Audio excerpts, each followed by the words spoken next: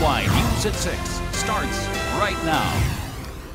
It's still Thanksgiving, but the clock is ticking for shoppers who just can't wait for Black Friday. Here's a live look from San Luis Obispo tonight. You can see the tents of people ready to buy. For many families, now is just about the time to sit down at the dinner table and enjoy what they've been working on all day long. But for others, the action is just getting started. We're talking about Black Friday, which has turned into Black Thursday this year as more stores open earlier. Best Buy is one of those stores, and that's where we find Nancy Chen in San Luis Obispo tonight. Nancy, uh, how does the crowd, how, what is the crowd looking like right now? Well, John, if you look behind me, there are so many tents here, it almost looks like Occupy SLO. There are people lined up all the way down to Sears. Best Buy is opening at 6 o'clock in six hours at midnight, and shoppers have been waiting since yesterday afternoon to get a good deal. Some people call them intense, while they say they're simply frugal.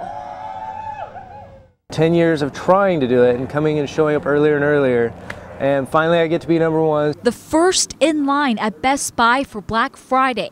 No small feat. I showed up at 3 p.m. yesterday. That was uh, 3 p.m. Wednesday. For victory 10 years in the making, Sean Kulalas is rather anticlimactic at the moment.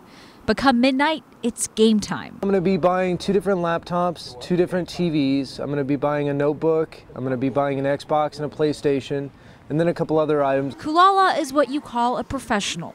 The veteran shopper is charging coworkers, friends, and family about 10% or up to $20 per item to buy something for them. His commission this year, about $180 and he gets some bonuses. Last year, I had a bunch of friends and coworkers commit to bringing me food, and I actually had five Thanksgiving dinners. Kulala even has dumbbells for exercise to keep him warm and he wasn't the only one prepared for a long journey. This is probably one of the more impressive. The owners fit a full-size mattress in here, so while other people are sleeping on the cement ground, they're sleeping on a nice soft bed. Los Osos couple Blake Barth and Brigitte Hawk were second in line, arriving minutes after Kulala. We're not here for like a lot. We're getting just maybe, what, 15 items total which is like two TVs, two DVD players, a tablet, some DVDs. The two are staving off boredom with laptops and Wi Fi through a phone, using his iPad to plan ahead. They have a little map on the door that I took a picture of, of kind of like the general ideas and a little route you could take, and I drew it out on my iPad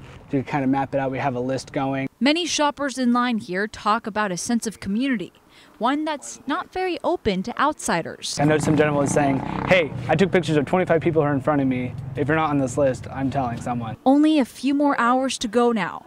These shoppers have dealt with the cold, boredom, and even people driving by just to jeer. Who does that? Like, we're not affecting you. We're just blocking a little bit of a sidewalk, but you can walk around. But at midnight, it'll hopefully all be worth it. And for some of the really popular items, even if you came out here right now, you'd still be coming too late. The most popular item here seems to be a 42-inch LCD TV that normally goes for $550. Tonight, it's going on sale for $200, and a lot of people are really hoping they can snag it.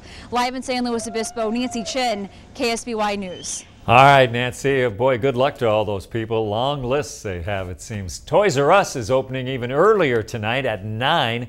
Walmart is opening its doors at 10 o'clock.